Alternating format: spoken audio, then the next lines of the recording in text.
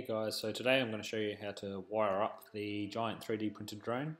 Now if you haven't seen our first video on how to build the frame, why not click the link in the description and we'll show you how to do that. Otherwise, as you can see here, we've got an ESC on the screen. Now it's a Q-Brain from HobbyKing, it's a 4 times 25 amp ESC all in one.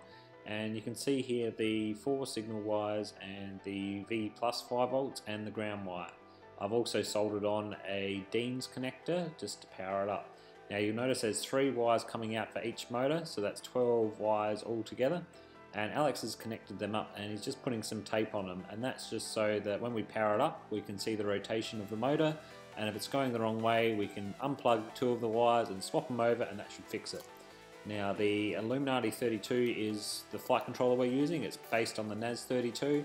The reason why I got it was it was cheap and had a plastic cover and we'll also need a receiver which we use Orange RXs and they seem to work pretty well. Now here's a bird's eye view of the setup. So you'll see the four motors, the ESC, the Illuminati where we've just got the signal wires and everything twisted together with some tape over it. Now if you've seen our first video you'll probably know what happens next. It's not very good on my behalf. Uh, Whoa. That got really hot then, that battery. So that's a lesson of do not reverse polarity a battery because it can do damage. So I desolder it, swapped it over and all was good. Now in plugging it into the computer you'll notice that the motors just start twitching. It's probably really hard to see but they just start twitching.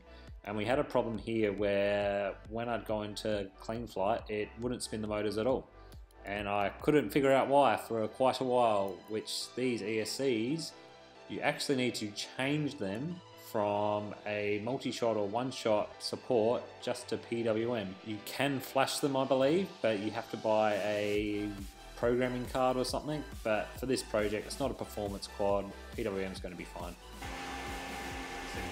Slow! Slow, man! Now, in doing that, you can see here we've got the rotation. So motor one needs to go clockwise.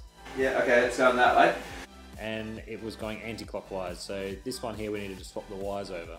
You can see Alex here writing down on the little bits of tape what goes to where. So when we unplug everything and go to solder it all together in the frame, we'll know exactly what goes where and which orientation it should go in. Now, our next step we cut off some uh, security wire, I believe it was. It's probably like 0.5 mil, 0.75 mil wire. We pulled it through the frames and essentially soldered it inside the frames and joined it all together. Sadly, we didn't take any videos of this because the camera died, so Alex has taken a little video here once we finished on his phone essentially. So you can see there the motor wires, they go into the frame. We ended up drilling that hole out, but I reckon we will change the 3D print so that that hole comes actually printed. And the wires run through the inside and if Alex flips this over you'll actually see we've made another little hole where all the wires come out. So it's super neat. Everything's hidden which is really great. Um, but we'll probably add this hole in too.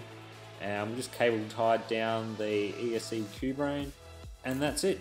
So thanks for watching guys and next week let's see if this bad boy will fly or not. Thanks for watching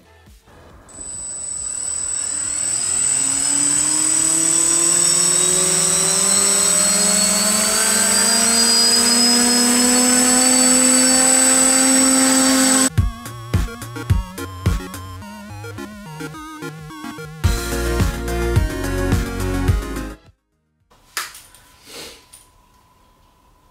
smoke, it's a good sign. No throttle. Did you finish programming it? We'll find out.